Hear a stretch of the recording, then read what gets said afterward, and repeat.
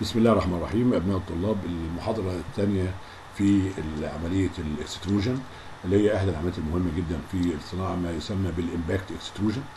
وهذه العملية بنحصل منها على معظم ال thin wall thickness tube tube اللي هي سمكها بيبقى صغير قوي. وديت معظم اللي يعني الأنبوبة نفسها بقى الأنبوبة نفسها اللي هي بتاع معجون السنان نفسها الأنبوبة نفسها الأنابيب اللي شايفها أو بتاع الكريمات أو الدهانات اللي إحنا بنستخدمها. هذه الأنابيب معموله بهذا الشكل. ودايما بتبقى غالبا أو هي أو هي هذه العملية دايما بتبقى indirect extrusion وغالبا برضو بتبقى cold forming process هذه العملية بتتم بفكرة برضو فكرتها البسيطة إن أنت بتجيب ال blank اللي هي القطع المادة الخام بتبقى محسوبة حسب القطر اللي أنت عاوزه بتاع بيديك شكل كده عامل زي ال tube يبقى أجيب ال أجيب ال ال blank اللي موجودة بعد حساباتها ووضعها في ال die ال die هنا. ال die هنا هيحدد لي القطر الخارجي لل tube اللي انت هتحصل عليها. ثم عندي ال punch هنا هو اللي قطره هيحدد القطر الداخلي ما بينهم. نتيجة سقوط ال punch مرة واحدة ب impact بينزل في very short time يبقى بنزل هنا بال punch هيحصل flow لل metal في الاتجاه العكسي عشان كده هي extrusion. uh, this process often includes category of cold extrusion. خلاص عرفناها.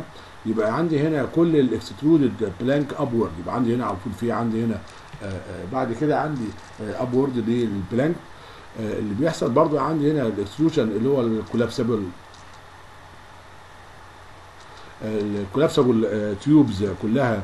برضو اللي انت شايفها هنا واللي بتبقى معمولة من مواد بقى معظمها مواد بلاستيكية اللي انت تقدر يعني تطبقها وتضغط عليها هنا. يبقى زي ما انت شايف برضو اللي هنا ادي ادي ال blank وادي ال punch. لو أنا عاوز بقى النهاية زي النهاية اللي بتبقى كده في نهاية المعجون السنان أو معجون الحلاقه الأنابيب بتاعتها بتشوف لها نهاية كده خاصة مش ما تبقاش كده بتبقى عامل زي ال taper هنا. يبقى الجزء دوت طبعا بيبقى له برضو بصممه في ال punch وبقدر أحصل على ال ال ال الانبوبه بهذا بهذا الشكل في مشوار واحد أو stroke واحد.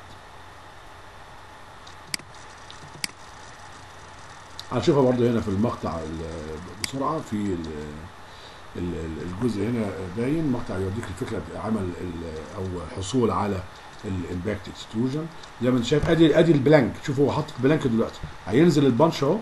أبدأ أدي أدي ال tube اللي حصلت أو اللي حصل عليه. أهو هنشوفها تاني أهو. الراجل دلوقتي بيحط فيه ال die. يبدا يحط فيه ال die ال blank. هيطلع يبقى إذا ال die قطر ال die هو عبارة عن القطر الخارجي وقطر ال ال ال punch هو عبارة عن القطر الداخلي لل tube. أهو هتشوفها بقى هنا slowly شوية أهو. هيبقى الراجل أهو ال punch نازل أهو بيحصل هنا ال flow. بيبقى indirect يبقى عندي اتجاه ال flow بتاع ال metal بيبقى عكس اتجاه ال punch اللي موجود عندي. يبقى ناخد بالنا من فكره عمل. برضه نشوفها تاني بسرعة كده عشان برضه يبقى عارف. وخلي بالك إن ال punch بينزل مرة واحدة. أهو. يبقى نزل نزل ال punch أهو. على طول بتكون هنشوفها برضه هنا. أهو. ادي دي ال blank. خلي بالك من الحتة دي ال blank. بالشكل ده. يبقى ناخد بالنا من آه هذه الأمر. النوع الثاني أو أو نوع آخر من ال extrusion بيسموه ال hydrostatic extrusion. وهو غالبا بيبقى direct extrusion. ويتميز غير هنا إن موجود هنا ال fluid. وتخلي بالك إن إحنا ال fluid موجود جوه داخل لكن يعني قبل كده أو وضحناها قبل كده إن أنت عندك الحركة بتاع ال ram ده ممكن حاجتين بال hydraulic system أو mechanical system. هو لكن يعني معظم ال common عندنا هو معظم الشائع اللي عندنا هو ال hydraulic system اللي هو اللي بيحرك ال ram هنا. لكن هنا بقى عندي ال fluid جوه جوه ال container نفسه ما بين ما بين ال ram وما بين ال billet اللي أنت حاططها. لكن عشان برضه يبقى تاخد بالك ال fluid دي موجود في داخلي. لكن لما اتكلم لما بتكلم على ال mechanism الحركة لل ram. ممكن يبقى هيدروليك ممكن يبقى mechanical. دي حاجة ثانية خالص بره خصوصا إن معظم الميكانيزمات الموجودة عندنا hydraulic system. في بعض ال mechanical لكن دي بتبقى نادرة شوية. لكن إحنا بنتكلم هنا في ال hydrostatic ال fluid موجود داخل داخل المجموعة نفسها. المجموعه اللي هي ما بين ال billet وما بين اللي هو اللي هو ال dummy block بتاع ال ram. موجودة هنا. طبعا في ميزة جميلة قوي آه في ميزة. كويسة جدا إن أنت ما عندكش direct contact ما بين ال- ال dummy وما بين ال- ال billet وده بيبقى كويس جدا وخصوصا للمواد اللي اللي هي ال- ال brittle الحاجة الثانية اللي أنت آه، بعض ال fluid اللي, اللي أنت حاطه بيبقى بيقلل الاحتكاك في هذه المنطقة.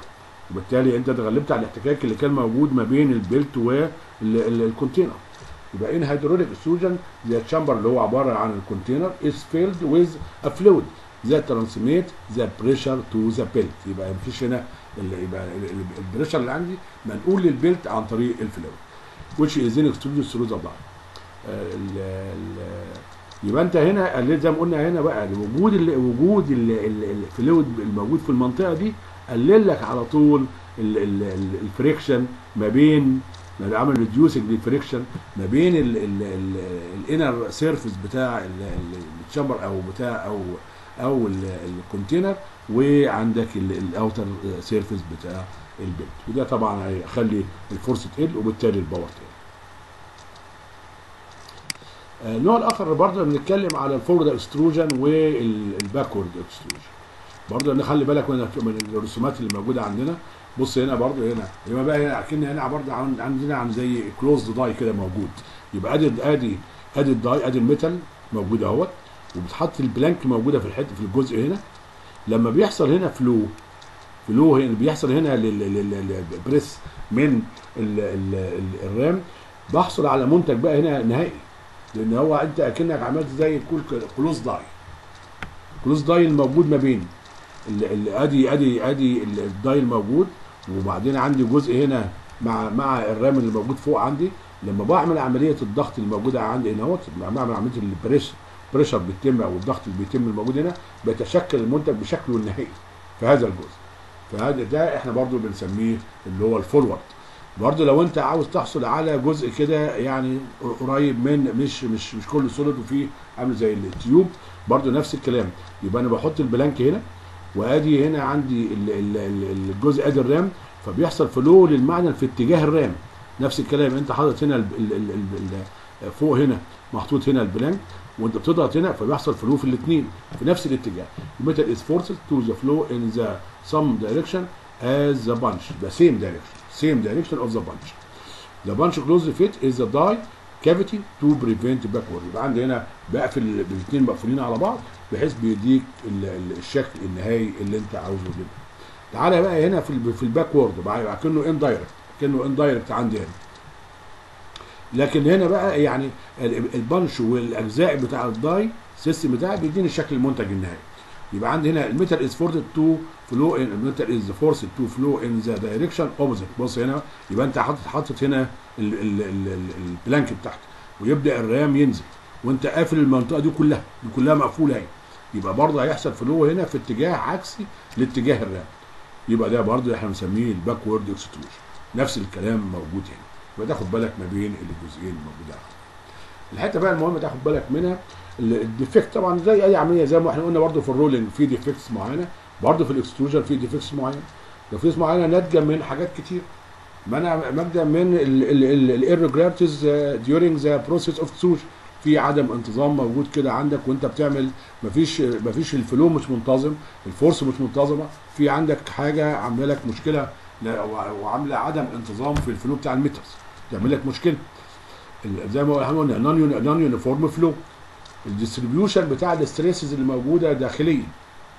ال number ال number of defect depend on نخلي بالنا بقى في عديد من عندنا زي ما إحنا قلنا عندنا ال- ال wall friction وعندنا ال temperature في friction موجود عندنا انصراف درجة الحرارة اللي انت مستخدمها وبالتالي بتؤدي لبعض العيوب. أهم العيوب اللي موجودة عندنا ما يسمى بال surface cracking internal cracks ال pipe ال piping defect وهنا ال- الشكل اللي قدامي هنا زي ما إحنا شايفين في عند ال surface نفسه في عنده مشاكل. حتى ال surface يعني ده بيبقى حاجة مرئية. يبقى أنا عندي هنا في ممكن يحصل defect موجود عندي وموجود ما يسمى بال cracks الموجود على السطح. وديت أسبابها. عندنا زي ما انت لو انت لو أنت مستخدم high initial temperature high ram speed high friction ده على طول بينعكس على السطح اللي موجود عندي بعد كده عندنا هنا ال internal cracks وده بيبقى برضه عندنا فيه مشكلة ودي ممكن تبقى حاجة بقى مش مرئية. دي حاجة داخلية داخل داخل في ال center في ال center بتاع الجزء اللي هو له- اللي هو ال extrusion material اللي موجود عندنا. وهذه ال internal cracks ساعات بيسموها center crack ساعات بيسموها center burst ساعات بيسموها يعني يبقى فيها كذا اسم موجود تخلي بالك منه. وزي ما انت شايف هنا ال cracks موجودة هنا. وموجودة برضو لحاجتين برضو نتيجة اللي انت عندك هنا نتيجة ال- ال- ال- ال- الخروج وعندك هنا ال compressive stress العالي واللي هو ممكن يؤدي إلى وجود tensile stress داخل ال center وبالتالي بيعمل تباعد ما بين ال- الحبيبات وبعضها فيؤدي لوجود ال cracks. عشان أقدر يعني نفكر في إيه؟ عشان نقدر نتغلب. على هذه المشاكل لازم يبقى لازم ناخد بالنا من ال die angle لازم ال angle دي تبقى يعني ما تبقاش كبيرة قوي لازم تبقى أغير فيها شوية. وال friction برضو يكون برضو أقل ما يمكن. ال ratio ما بين ال ال ال ال- ال- ال diameter الأولاني وال reduction اللي هيحصل النسبة الكبيره هتحصل في تخفيض للحصول على ال cross section اللي أنا عاوزه لازم برضو أخد بالي منه شوية. يبقى تخلي بالنا من ال ال ال ال ال العيوب اللي موجودة عندنا. في جزء آخر برضو هنا بيسموه ال piping defect. وال piping defect ديت آه، زي ما إحنا شايفين هنا بيحصل تحدث نتيجة بقى إن في ممكن يبقى في oxidation موجودة على السطح ممكن يبقى في بعض آه، يعني ال- ال- ال- المشاكل أو العيوب أو الشوائب اللي موجودة عندنا وبيديني خصوصا بقى على السطح وعلى في نهاية عملية ال extrusion.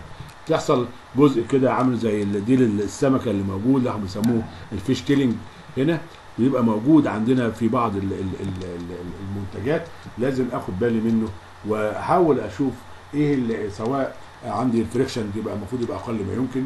درجات الحرارة لازم آخد بالي منها الحرارة المناسبة لكل معدن من المعادن وأنا شغال يبقى آخد بالي من هذه ال- ال- العيوب. يبقى عندي ثلاث عيوب مهمين. نخلي بالنا منها surface cracking internal cracking piping defect دول إحدى العيوب أو العيوب الشائعة في عملية ال- extrusion.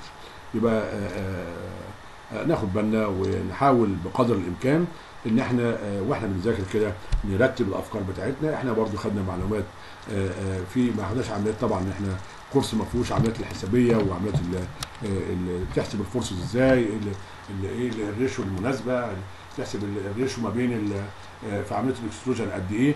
ديت إحنا ما خدناش في هذا ال course ال- الحسابات. أنت بتاخد فكرة عمل كل عملية ببعض ال- ال- ال- التفاصيل شوية. آه، آه، كده يبقى إحنا انهينا العملية الثالثه في عمليات extrusion خدنا ال forging في عمليات ال forming خدنا خدنا ال extru- خدنا ال forging خدنا ال rolling. اتكلمنا عن ال extrusion process بأنواعها وأهم الديفكتس الموجودة فيها السلام عليكم ورحمة الله وبركاته.